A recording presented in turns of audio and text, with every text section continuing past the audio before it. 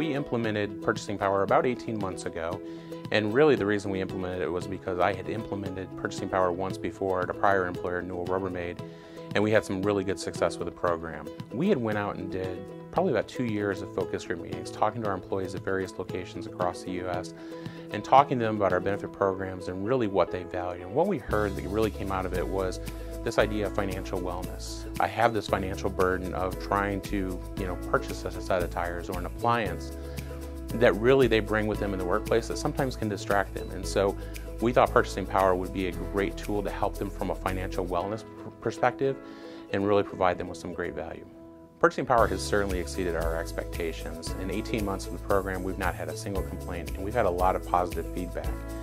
One of the things we did this year with our annual enrollment theme was it was all about making a personal connection and telling personal stories. And so we actually went out and asked employees specifically about purchasing power and to provide us with feedback.